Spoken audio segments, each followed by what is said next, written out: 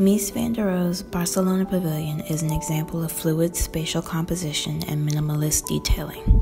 Much of the design composition was based on elements of the site the slope, which would place the pavilion on a raised level like a stage, the route across the site, which aligned with the central axis of the Grand Plaza, the north wall of the adjacent Palau Victoria Eugenia Palace, and the row of Ionic columns also centered on the axis. In his design, Mies rejected the axial symmetry because it was a key characteristic of neoclassical architecture and a symbol of authoritarianism.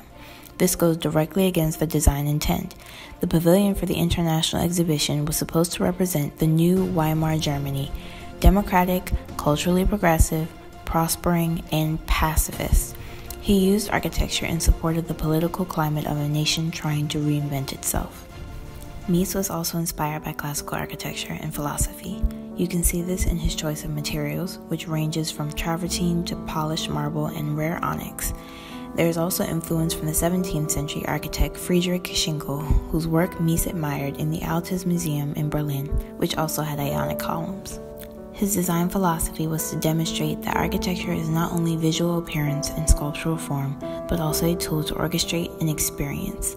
Using the position of the walls to interrupt the set axial route, the pavilion makes people pause so that they may experience a kind of architectural space that is different than the one ordered by the axis of symmetry of the site. There is also an overarching theme of reflection. The serene and museum like qualities of the space, as well as the literally reflective surfaces of the glass and polished stone, reinforce this concept. The Barcelona Pavilion is necessary for all architects to understand because it is a prime example of restrained, impactful architecture. The design sparked a renewed interest for purist modernism.